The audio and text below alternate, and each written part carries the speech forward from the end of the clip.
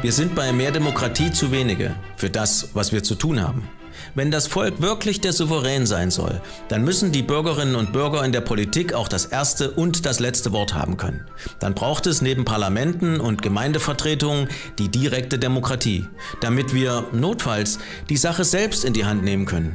Das will mehr Demokratie durchsetzen. Aber dafür müssten wir mehr sein. Wir sind gerade mal 8000 Mitglieder. 20 Reformen haben wir durchgesetzt und faire Regeln für Bürger- und Volksbegehren erstritten in Hamburg, Bayern, Thüringen, Berlin, Schleswig und NRW. Das kann nur der Anfang sein. Das muss weitergehen. Bürgerrechte werden uns doch nicht geschenkt. Sie müssen erkämpft werden.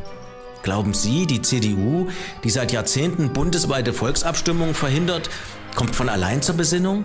Wir müssten 17.000 sein, besser noch 70.000. Ist das vermessen? Keineswegs.